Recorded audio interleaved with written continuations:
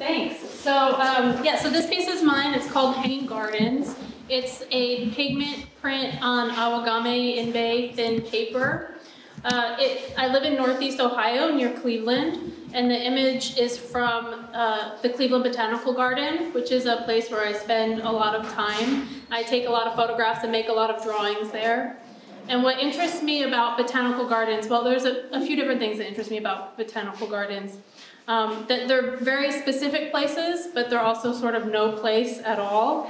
Um, they're very dislocated landscapes, and that's something that is really interesting to me that I can go to Cleveland and I can experience a tropical landscape. I can go from, you know, there being a foot of snow to going inside and, and being in a completely different kind of space.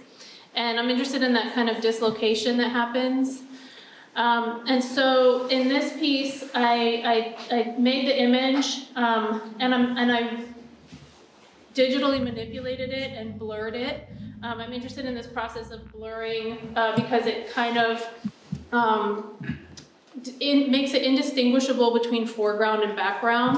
Uh, when you're in a place like a botanical garden, you know, you're supposed to experience the leaves and the beautiful flowers and the plants, and you're not supposed to pay attention to the oh, this huge structure, this huge system that's holding all of that stuff up. I'm really interested in flattening that space through this process of blurring so it all kind of becomes one plane.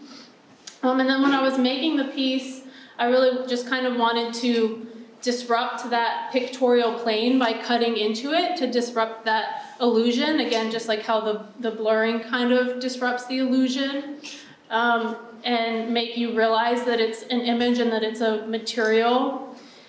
Uh, and I was just also, I love this type of paper. I think it's really, really beautiful. It's really, even though it's very strong, it's or even though it's very thin, it's very strong. And so I really wanted to kind of push and see what it could do, um, you know, and still keep a general shape, but how much could I cut into it or sort of break it down um, and have it still hold its shape in this general kind of banner.